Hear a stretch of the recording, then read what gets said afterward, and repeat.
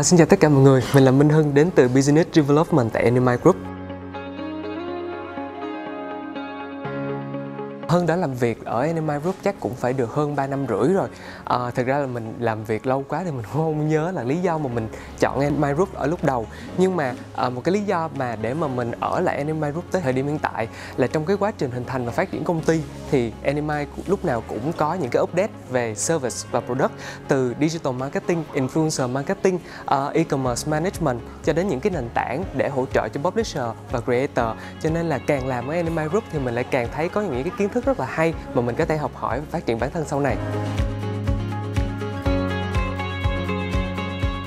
Thật ra là một vị trí uh, Business Development tại Anime Group thì một ngày mình cũng có khá là nhiều công việc. Đầu tiên là việc tìm kiếm khách hàng tiềm năng cho công ty. Và với cái task này thì không chỉ là bạn chỉ cần tìm kiếm contact trên Internet không là đủ Mà bạn còn phải tìm hiểu xem khách hàng tiềm năng của mình họ đang có nhu cầu về dịch vụ hoặc là về product nào. Từ đó mình có thể cung cấp cho khách hàng những cái dịch vụ và um, product tốt nhất từ Anime Group. Ngoài ra, vị trí Business Development bạn cũng sẽ phải là một người tech lead trong giai đoạn đấu thầu của dự án đồng nghĩa với việc bạn sẽ phải luôn theo sát những cái tiến độ công việc mà internal team đang thực hiện nhằm đưa cho khách hàng một proposal bản kế hoạch tốt nhất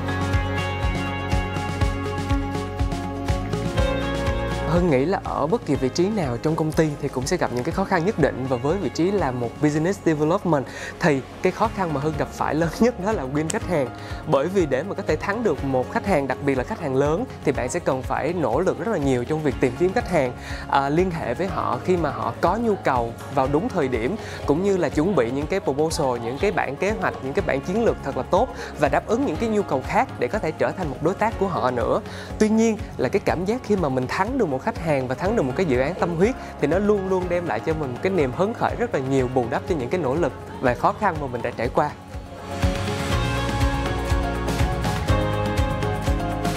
Hưng nghĩ điều quan trọng nhất đó là giữ cho mình một cái sự tích cực. Bởi vì không phải lúc nào bạn cũng có thể win được một khách hàng hoặc là cái dự án mà bạn mong muốn. Cho nên là nỗ lực tìm kiếm cái động lực để mà mình có thể tiếp tục là một cái điều cần thiết. Và cái thứ hai nữa là khi làm việc thì mình nghĩ là luôn luôn bạn sẽ gặp phải những cái áp lực về khối lượng công việc về thời gian hoặc là những cái vấn đề khác phát sinh. Cho nên á, là cái sự nỗ lực cố gắng cũng như là cái nguồn năng lượng tích cực là một điều mà mình cảm thấy là um, những cái yếu tố có thể giúp bạn vượt qua những cái khó khăn đó.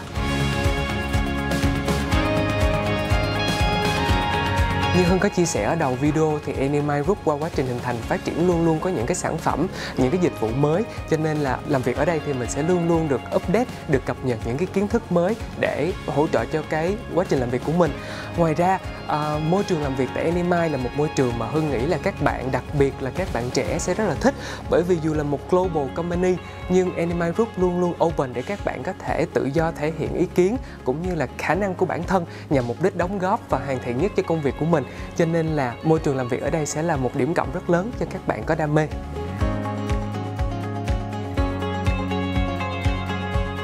Um, Hưng nghĩ điều đầu tiên đó sẽ là những kiến thức cơ bản về marketing và advertising. Tuy nhiên nếu như mà bạn có đam mê để mà học hỏi thì Anime sẽ là một môi trường rất là tốt để cung cấp cho bạn những cái kiến thức và kỹ năng cần thiết để làm việc.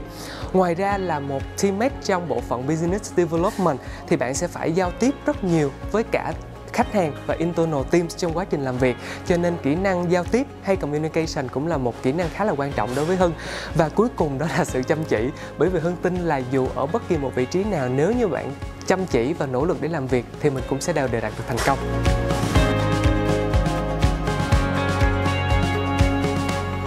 Development đơn thuần chỉ là sale thì không phải đâu nha. Bởi vì vị trí business development tại Animai Group sẽ đòi hỏi các bạn phải có những cái kiến thức rất, rất là vững chắc cũng như là những cái skill set cũng như là trong quá trình làm việc thì bạn sẽ được luôn luôn trau dồi những cái kiến thức và kỹ năng của mình để ngày một hoàn thiện. Cho nên là mình mong là sẽ sớm gặp các bạn tại PT Team nhé.